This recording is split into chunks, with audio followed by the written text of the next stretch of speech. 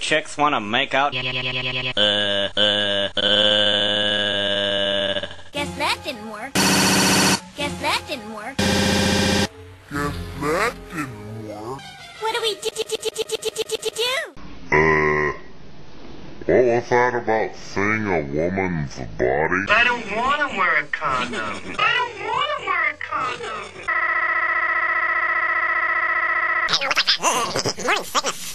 You don't need to know anything. Meet Kathy. She's 16 and there have been many changes in her body as she blossoms into womanhood. Here's how Kathy looks naked. Whoa. Oh. Her body probably looks a lot like yours. Kathy met her boyfriend John at school. Like most boys Kathy's age, John is slower to mature than she is. Like many teen couples, Kathy and John are sexually active. Here we go. Yeah, do it. Also, like many teens, Kindergarten rule. They give us like finger paints and you just like mess everything up and then you like drink a bunch of Kool-Aid and then go like lie down on your little towel. That rule. Yeah.